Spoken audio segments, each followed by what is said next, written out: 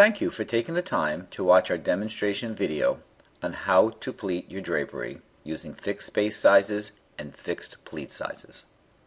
Traditionally, space sizes are fixed, while pleat sizes vary.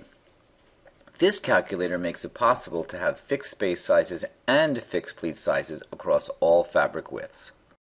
Before we proceed, you should be aware that this calculator can only be used when working with solid fabrics, railroaded fabrics, or fabrics that do not have to be pattern matched at the selvage edge. To get started, we'll click the EZ Pleating Calculator with Fixed Spaces and Fixed Pleats link on the members home page.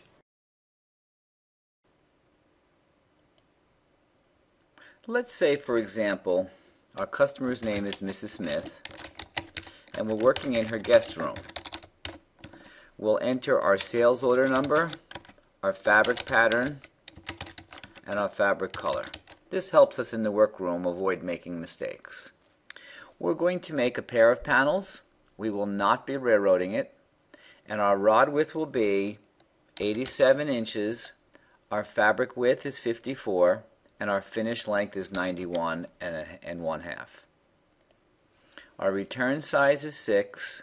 And our overlap size is 3 and 1 half. We're going to select the exact space size that we're going to use across all fabric widths that make up a single panel. Let's say we want 3 and 7 eighths. Our pleat size, we're going to select the exact pleat size that will be consistent across all fabric widths. I'm going to select 6 inches. Our return side hems are made from double one and a half inch hems, and so are our overlaps. We'll leave them alone. Our seam allowance is one half of an inch. The ease is the amount of fabric that's extra after our pair of panels are drawn to the center for privacy. So if we made our panels such that when you pull them to the center you had just enough fabric, the fabric might be a little bit taut. So adding a little extra ease is like saying I'm going to add a few extra inches to each of those panels, the left panel and the right panel, so that when the panels are drawn together towards the center for privacy, there's a little bit of extra material in those panels. It's, it, this way they don't pull tight at the center. Here, I'll say my minimum ease is one inch, um, and my additional ease is also one inch. We can learn more about these features by clicking on the text next to them and reading a little bit from the help. Our pleat markings, we're going to mark the starting and ending location of each of our pleats. If we wanted to, we could mark only the center or the left side of each pleat. So I'm, I've got my information all entered and I'm going to click now the EZ Pleat My Drapery button. Remember, we're going to get three and seven inch eight, three and seven eighth inch spaces across all fabric widths, and our pleats will all be six inches. They will not vary, and our seams will be hidden. That means that the beginning or ending this the seam will always be located at the beginning or ending of a space or a pleat, never in the middle, never never anywhere within it. So I'm going to pleat my drapery by clicking the pleat my drapery button my calculations come up. My instructions overview page gives me a little bit of information from what I entered. It computed an ease of four and three quarters inches. Even though we asked for one, you don't always get exactly what you want because remember the seams have to be hidden and there's a little bit of math involved to make that happen. Our space sizes will be 3 and 7 eighths. Our pleats will be 6. We have total spaces of we'll total of 12 spaces and a total of 13 pleats and a fullness of 2.9. We also get a little message saying if we change our space sizes from 3 and 7 eighths to 4 and 3 eighths, we can reduce the amount of fabric that we're using. I'm not going to change anything. I'm going to proceed and see what my pleating instructions look like. Now, because this calculator allows you to have a fixed number, a fixed space size, and a fixed pleat size across all fabric widths. The way it's doing that is by having you trim each width accordingly. So for example, this particular job with a rod width of 87 inches and a space size and a pleat size of 3 and 7 eighths and 6 inches with a return and an overlap of 6 and 3 and 1 half will require you to have three widths of fabric where the first width will be you must cut it to exactly 52 and 1 half inches.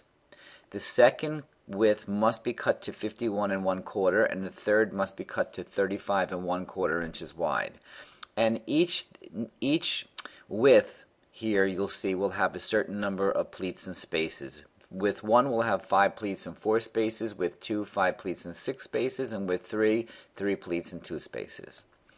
So we get some cutting instructions that basically tell us to cut our widths to these sizes, sew them together, add in your linings and interlinings, and start placing your marks for your return at 6 inches and your overlap at 3 and 1 half.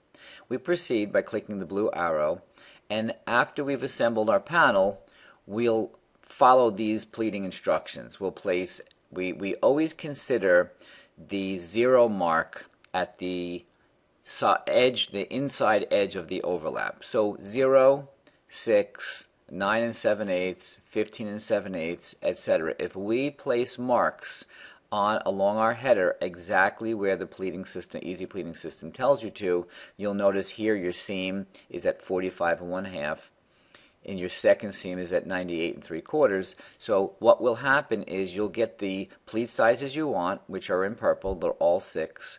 You get the space sizes that you want, they're yellow, they're all three and seven eighths. This represents one panel. Of course, you're going to have two panels for center opening pair.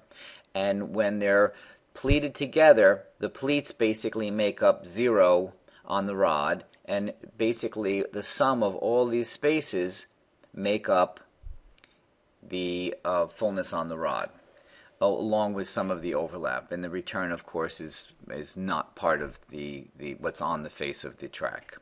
So notice that if you cut your fabric widths to exactly what it says, sew them together using the 1 half inch seam allowance that we chose down here, you will fit your panel when they're sewn together, both of them, and pleated onto the 87 inch rod. And you'll notice here are pleat to pleat pleated.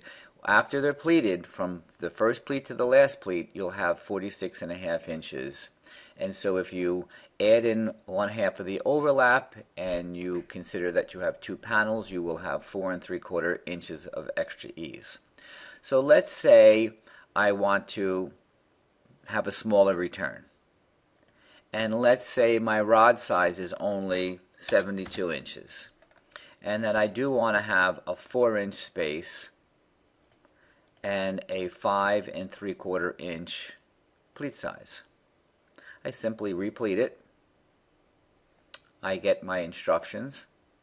I look at my pleating header. I have the 5 and 3 quarters and the 4 inch space that we talked about. Uh, it tells me exactly how to cut my fabric widths. And I have perfect ins pleating instructions. I can print this. I can print pleating tags see if I can show you these a little bit. These are pleating tags that will can be attached to each and uh, every panel that you fabricate.